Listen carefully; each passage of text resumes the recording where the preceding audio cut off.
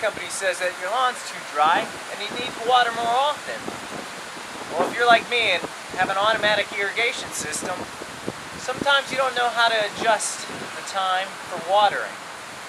That's why today we'll be taking a look at the top two manufacturers of irrigation controllers and how to adjust their timers so that you can change your watering habits give your lawn the water it needs. We'll start first with the Hunter brand irrigation system. All their controllers are programmed the same way. When you open it up, you'll find it probably in the run position. There's also a button to set the current time date, the program start times, the station or the zone run times, and the days to water. Additionally, the green side shows where you can manually run all stations or an individual station. After making sure your current date and time is set correctly, turn the dial to set program start times. This will allow you to set up to four program start times per individual program.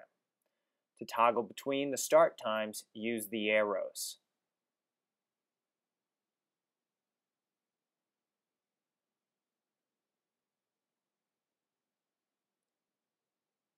Use the Program button to toggle between the program start times.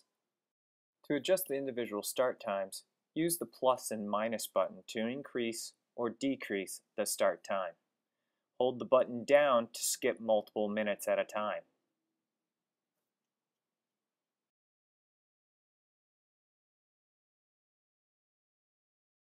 In this example, we'll set two multiple start times, one to start at 11.45 a.m. and the other to start at 6.45 a.m.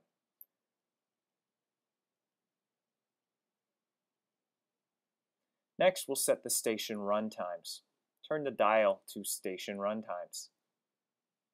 Here, you'll notice the station number or zone number and the amount of minutes that it's set to run for.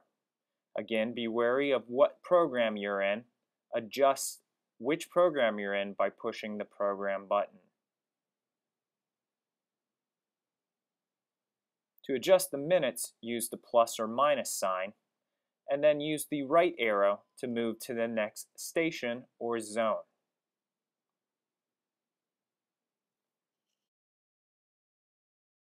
Selecting specific days to, of the week to water is as simple as turning the dial to set days to water. Here, raindrop indicates that water is on for that day.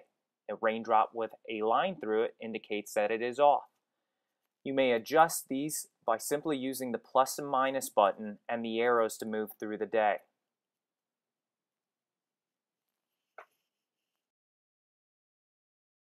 After making your changes, simply turn the dial back to run and you're ready to go.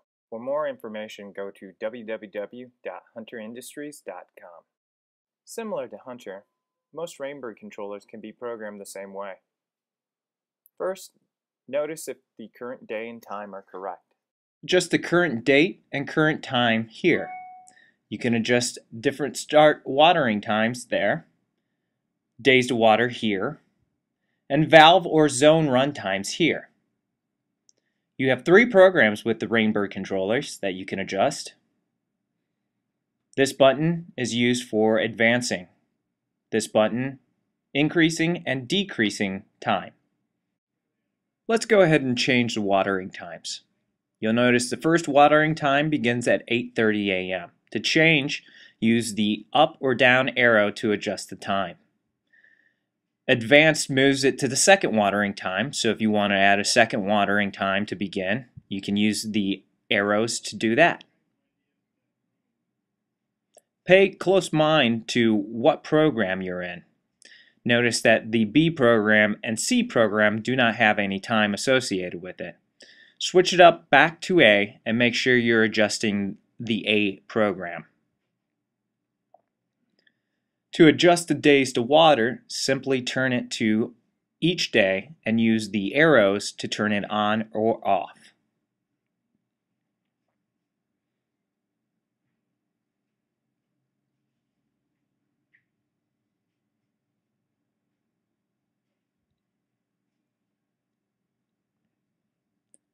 Next, you can turn it to each individual zone or station and adjust the runtime with the arrows. This is one of the Rainbird's best features, allowing easy access to each zone and each day of watering. Simply use the arrows to adjust the minutes.